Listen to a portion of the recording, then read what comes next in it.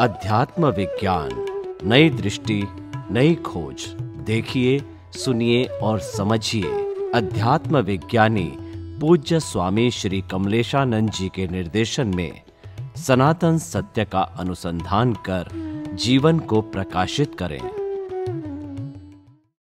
આપણને આ સંસાર ગમતો હોય તો કુદરત આપણને સંસાર જ આપે છે પણ સંસાર આપે છે ત્યારે તકલીફ થાય છે શું જ્યારે બીજ નાખ્યા હતા ત્યારે સંજોગો જુદા છે.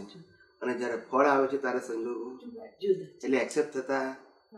એટલે મને ઘણા બધા કે કે સ્વામીજીઓ ગરીબો મધ્ય વર્ગના અને અબજોપતિઓ બધા દુઃખી કેમ છે? ઓલ આર અનહેપી બધા. આ દેશનો પ્રેસિડેન્ટ દુઃખી હોય. બધા દુઃખી. ને સામાન્ય ચપરાસી દુઃખી હોય. ને પેલો ભીખ માંગનારો દુઃખી હોય. મીડિયમ વર્ગના લોકો દુઃખી હોય. રીચ માણસો દુઃખી હોય. આ બધા દુઃખી છે? આટલું બધું હોવા છતાં એનું કારણ શું? ત્યારે મૂકો આ દુનિયામાં દુઃખી થવાનું બધા માટે એક જ કારણ છે. જે મળે છે ગમતું નથી ગમે છે મળતું નથી.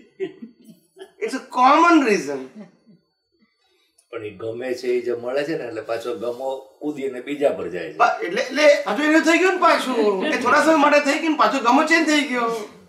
આજે ગમેલું મળ્યું તો પાછું બદલાઈ ગયું કે હવે આ ગમે છે. એટલે પાછું એ રહ્યું નહીં. એ પાછી એની ઈચ્છા હતો આજે મને લાગ્યું મને આ ગાડી ગમે છે. મેં લાવી દીધી.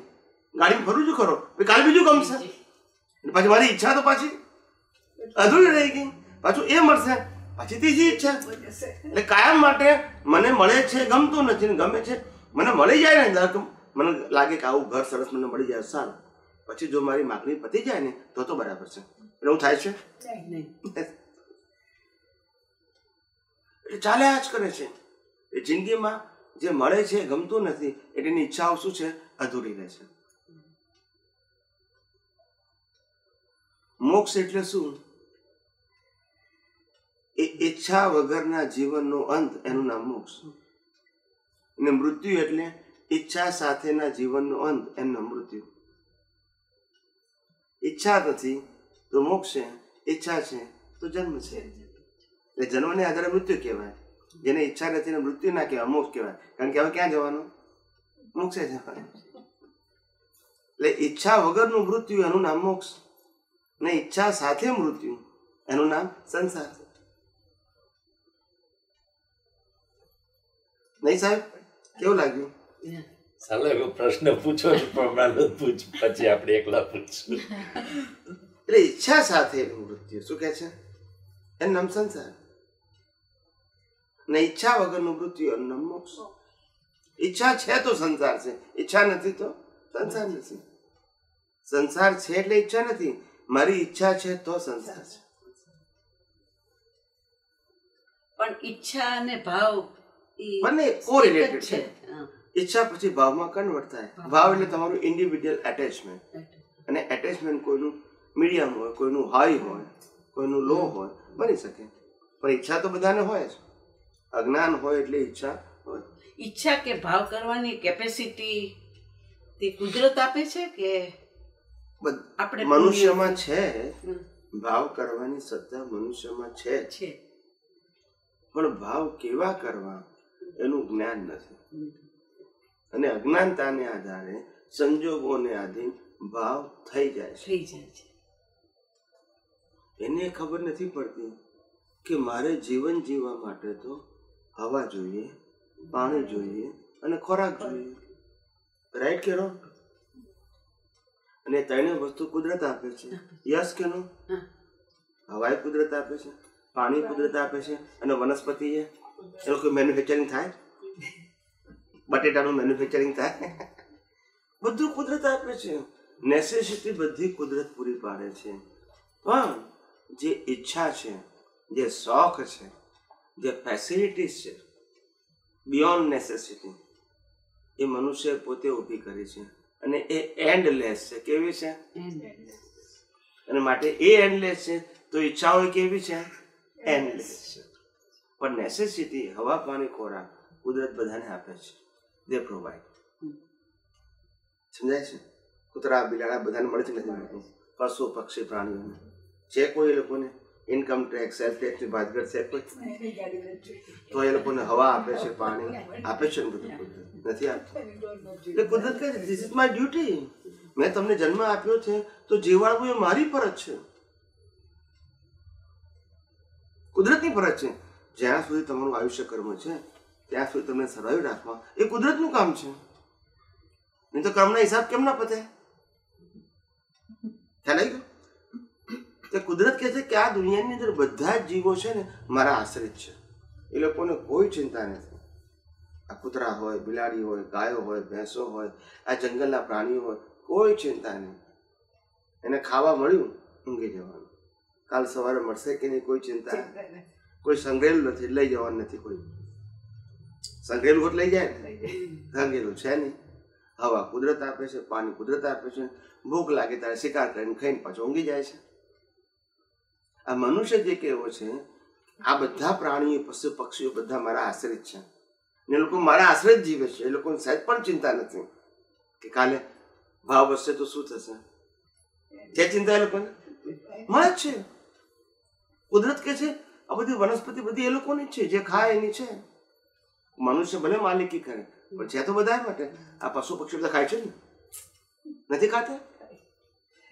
પણ મનુષ્ય એક જ એવો છે. નિરાશ્રિત છે કેમ નિરાશ્રિત છે કારણ કે એ કાલની ચિંતા કરવા લાગ્યો સિત્તેર વર્ષ થઈ ગયા હોય તોય કાલ ખાવા મળશે કે ચિંતા સિત્તેર વર્ષમાં એક દિવસ ભૂખ્યો નથી રહ્યો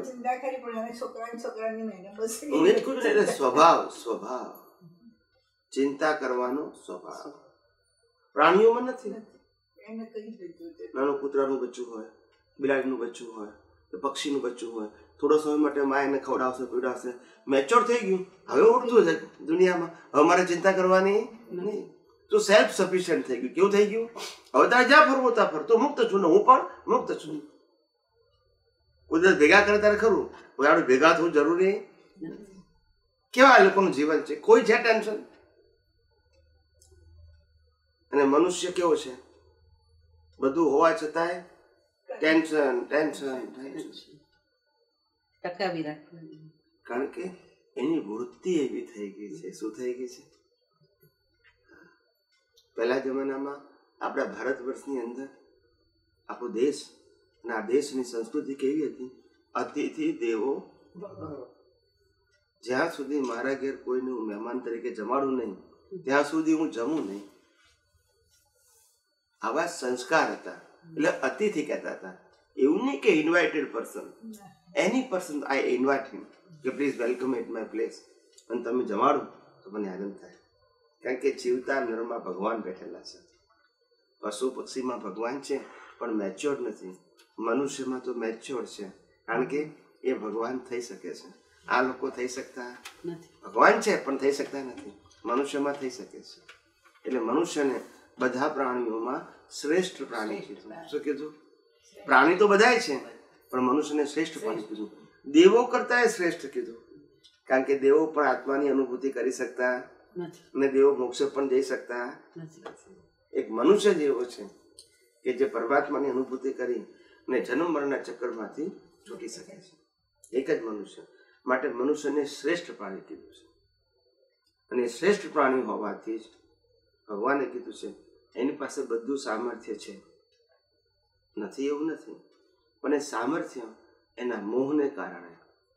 મિથ્યા જ્ઞાન ને મિથ્યા દર્શનથી સંસારમાં વિટળાઈ ગયું છે એનું સામર્થ્ય. શેમાં વિટળાઈ ગયું છે? સંસારમાં. બંગલા મોટર ગાડી બધું ભેગું કર કર કર કરવાનું બાકી નીકળ્યું બિકોઝ ઓફ સ્ટેટસ શેના માટે? પણ એને ખબર નથી પડતા. આ બધા સ્ટેટસ લેવા માટે હું મારું પોતાનું સ્ટેટસ ભૂલી ગયો છું. અને જે સ્ટેટસ માટે મેં આ બધું કર્યું છે ને એ તો પાછું મૂકીને જવાનું. પાછું બીજા અવતારમાં એકડે એક. પણ કે આ મોહને કારણે તું તારું સ્ટેટસ ભૂલી જાય છે. આ અવતારમાં જે કર્મ કરે સારા ખોટા એ આવતા અવતારમાં ભોગવવા પડે એ કેવું સમજે એટલે પહેલી વસ્તુ આપણે સમજવું પડે કર્મ કોને કહેવાય અને કર્મ ફળ કોને કહેવાય. બંનેની વ્યાખ્યા જુદી છે, બંનેના સ્ટેટસ જુદા છે. જ્યાં કર્મ ફળ છે, ત્યાં કર્મ નથી, ને જ્યાં કર્મ છે, ત્યાં કર્મ ફળ નથી. બંને વચ્ચે લાઇન ઓફ ડિમાર્કેશન છે. શું છે? પણ જગતના નવ્વાણું ટકા લોકોને આ ખબર નથી કે કર્મ કોણે કહેવાય અને કર્મ ફળ કોને કહેવાય. અને સાધુ સંતો, સંન્યાસીઓ પણ આ જ ભણાવે છે. એની પાસે પણ વ્યાખ્યા નથી. એટલે આખો સમાજ ગૂંચાયેલો છે. કર્મ અને કર્મફળની વ્યાખ્યામાં આખો સમાજ ગૂંચાયેલો છે. સમજાય છે? કર્મ કોને કહેવાય અને કર્મ ફળ કોને કહેવાય? પહેલા હું કર્મ ફળની વ્યાખ્યા આપું. જન્મથી મોત સુધી મન, વચન, કાયા દ્વારા જે કંઈ પણ કરવામાં આવે છે, એ હંડ્રેડ પર્સન્ટ કર્મ ફળ છે. એમાં કર્મનો અંશ નથી. જન્મથી મોત સુધી મન વચન અને કાયા દ્વારા જે કંઈ પણ કરવામાં આવશે એ સો ટકા કર્મ ફળ છે. એમાં કર્મનો અંશ નથી. ફળ. ફળ ફળ એટલે નો ચોઈસ ફરજિયાત એ રામને ભોગવવું પડે. કરો ખરાબ કરો કોઈ કર્મ ફળ. એટલે એનું ફળ પણ સારું ખરાબ આપણા ફળ છે એમ કહું છું. આ કર્મ નથી. આગલા જન્મમાં. રામને વનવાસ જવું પડ્યું એ કર્મ ફળ રાવણ સાથે યુદ્ધ કરવું પડ્યું એ કર્મ ફળ સીતા ઉપાડી ગયા તે કર્મ ફળ આપણે ફળમાં કોઈ ચોઈસ હોય? એક્ઝામ આપી દીધી છે. રિઝલ્ટ ફરજિયાત છે. હવે તો પછી કર્મ કોને કહેવાય? નવું કર્મ કેવી રીતે બંધાય છે આપણાથી? કે જેનાથી નવા ભાવમાં ભોગવટો આવે છે. તો કર્મ ભાવથી બંધાય છે. જેવો ભાવ તેવો ભવ. જેનો ભાવ બગડ્યો એનો સમજાય છે? એટલે ભાવ જે છે એનાથી કર્મ બંધાય છે અને મન વચન કાયા છે એનાથી કર્મ ભોગવાય છે. આ બંને લાઈન ડિમાર્કેશન જુદી છે. જગતના લોકો ક્રિયાને જ કર્મ કહે છે. વાણીને જ કર્મ કહે છે. વર્તનને કર્મ કહે છે. વિચારોને કર્મ કહે છે. જ્ઞાની કહે છે કર્મ નથી કર્મ. પણ તમે કર્મ ફળ ભોગવતી વખતે ભાવ કેવા કરો છો? એ કર્મ છે. અને એ કર્મનું ફળ તમને કુદરત નેક્સ્ટ બર્થમાં આપે છે. એટલે બંને વચ્ચે લાઈન ઓફ ડિમાર્કેશન છે. ગોળ ગોળ નથી. પણ સામાન્ય જીવોને આવી પરિભાષા ધર્મમાં કે સમાજમાં સાંભળવા મળતી નથી. એટલે બધા ગુચાયેલા છે. એક બાજુ એમ કહે છે કે તમે આવું કરો છો એ તમારા કર્મો છે. તમારા કર્મનું ફળ છે. અને પછી આપણે કહે કે પુરુષાર્થ કેમ કરો? તો કે સારા કર્મો કરો. પણ સારા કર્મો કરવા કેવી રીતે? તમે કહો મારે લાખ ડોલર દાણા આપવું છે પણ હોવા જોઈએ ને? તમે કહો છો કે મારે આ મંદિરમાં હેલ્પ કરવી છે પણ પગ ચાલવા જોઈએ ને? અથવા સમય હોવો જોઈએ ને? એમાં હિંસા વૃત્તિ નથી હોતી કર્મ કરવામાં આનું ખરાબ થાય તો સારું થાય આનું આમ થાય તો સારું થાય કોઈનું સારું ઈચ્છી નથી શકતા. એટલે દ્વેષ ભાવ. એને જ્ઞાનીઓએ કીધું કે કોમ્પિટિશન એન્ડ કમ્પેરિઝન સરખામણી અને હરીફાઈ. આ માણસને મારી નાખે છે. દ્વેષ ઈર્ષ્યા વેર અદેખાઈ આ બધું એના કારણે થાય છે. આપણી પાસે ના હોય કોકની પાસે હોય તો આપણને આમ અંદરથી જાણી જગું ના જાય છે. એટલે આમ એ થઈ જાય છે એવું બધું. એટલા માટે જ ને કારણ કે આપણી દ્રષ્ટિ બહિર્મુખી છે. પરમાત્મા અંદર છે. પરમાત્માની અનંત શક્તિ અંદર છે. પરમાત્માનું શાશ્વત સ્વરૂપ અંદર છે. પરમાત્માનું ચૈતન્ય સ્વરૂપ અંદર છે. ને આપણે ખોડીએ છીએ. રાગ દ્વેષ ઈર્ષ્યા વેર જે હરીફાઈ બધું થાય. દ્રષ્ટિ ઊંધી છે. દ્રષ્ટિ. દ્રષ્ટિ કેવી છે? બાદમાં જીવો કરવાનું છે. તો પૂર્ણ અપમાન. આત્મા પૂર્ણ છે. પણ બહારનું ભૌતિક જગતનું વેલ્યુ જીરો કરવાનું પણ આપણે ભૌતિક જગતમાં તો રહીએ છીએ એટલે આપણી આજુબાજુમાં આપણે આ દુનિયામાં રહીએ છીએ. અને છતાં આપણો ભાવ ફેરવવો કે એનાથી આપણે આવું આધ્યાત્મિક જીવન આપણે પસંદ કરવું કે કેવી રીતે એ બે વસ્તુનો સમન્વય કરવો એ એવું સમજાતું નથી. એવું છે કે મોહના વાતાવરણમાં નિર્મોહી રહેવું એ દ્રષ્ટિનો પ્રશ્ન છે. સાધનો સાથે સાધનો સાથે પણ સંયમી રહેવું એ દ્રષ્ટિનો પ્રશ્ન છે. હિંસક ક્રિયાઓ સાથે પણ અહિંસક રહેવું એ દ્રષ્ટિનો પ્રશ્ન છે. માટે ક્રિયા શું છે એ ઇમ્પોર્ટન્ટ નથી. રામે પણ રાવણ સાથે યુદ્ધ કર્યું તો લાખો લોકોની હિંસાને નિમિત્ત બન્યા હતા. સાચું ખોટું? છતાં એ જ અવતારે મોક્ષે ગયા. અને આપણે કીડીઓ બચાવતા અહીંયા ફરીએ છીએ. કારણ? ક્રિયા નથી. કારણ દ્રષ્ટિ છે. એમને રાગ દ્વેષ ઈર્ષ્યા હરીફાઈ નથી. એમને હિંસા એ ઉદય હતો. અંદર સંપૂર્ણ અહિંસક હતા. કેવા હતા? આપણે બહાર હિંસા કરતા નથી માણસ હોવાની. પણ રાગ દ્વેષ ઈર્ષ્યા વે કપટ લોભ મોહ આ બધું કરીએ છીએ. છે. એ તો પછી એટલા માટે તો આપણે કર્મ બાંધીએ છીએ ને. એ નતા બાંધતા એમનામાં નતું. બહાર હિંસા હતી પણ અંદર આ બધું? અંદરના કારણોથી કર્મ બંધાય છે. બહારની ક્રિયાથી કર્મ બંધાતા. જે મેં હમણાં વાત કરી મન વચન કાયાથી કર્મ ભોગવાય છે એનાથી બંધાતા. પણ જે અંદર ભાવ કરો છો એનાથી કર્મ બંધાય છે. ભગવાનને ભાવ નતો. એટલે કર્મ ના બંધાયા. ક્રિયા હતી. ક્રિયામાં રાજપાઠ વૈભવ બધું જ હતું. હિંસા બધું હતું. પણ ક્રિયા હતું તો પરિણામ છે. પરિણામનું પરિણામ ના આવે. તો પરિણામથી સાથે સાથે બીજ કેવા નાખો છો એનું ફળ આવે છે. તો એમને રાગ દ્વેષ નતા. એટલે કર્મ ના બંધાયા. ભોગવ્યા ખરા પણ બંધાયા. કેમ ના બંધાયા? કારણ કે અજ્ઞાન નતું. શું નતું? શેનું અજ્ઞાન નતું? તો કે હું શરીર છું તે અજ્ઞાન નતું.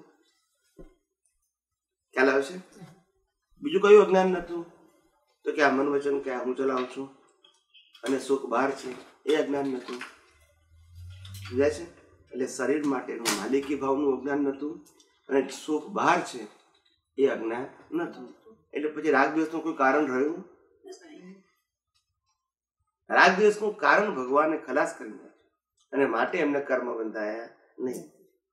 ભોગવવા તો પડે પણ ભોગવવા માટે તમે જવાબદાર નથી. અર્જુને પણ યુદ્ધ કર્યું. લાખો લોકોની હિંસામાં નિમિત્ત બન્યા. એ જ અવતારે મોક્ષે ગયા. અને આપણે કોઈને માર્યા નથી તો અહીંયા ફર્યા કરીએ છીએ. કારણ કે અર્જુને હિંસા કરી પણ અંદર અજ્ઞાન આપણે હિંસા કરતા નથી પણ અંદર અજ્ઞાન છે. હવે સમજાયું? કર્મ બંધાવાનું કારણ અજ્ઞાન છે. મન વચન કાયની ક્રિયા નથી. તમને સમજાયું? કામમાં આપણે ભોગવતા હોઈએ ત્યારે ભાવ આવી જાય આપણને ધારો કે કંઈક થયું પડ્યું તો આપણને એમ ના થાય કે હું પડી ગયું મારા કામનો હિસાબ છે. પણ કોઈ કંઈક નાખ્યું હોય તો જો એટલે કોણે આવું નાખ્યું જ કરે આપણે બોલીએ વ્યવસ્થા એ વખત તો પેલું જુદું રહેતું જ નથી. ભેગું થઈ જાય આપણે. પણ એટલા માટે તો સમજવાનું છે. એમ કે એ કેમ જાગૃતિ એ રહે ટાઈમે એટલા માટે સમજવાનું છે જન્મતાની સાથે શરીર પણ કુદરત મા બાપ દ્વારા અપાવડાવે છે. તો સંજોગો પણ કોણ અપાવડાવે છે? કુદરત.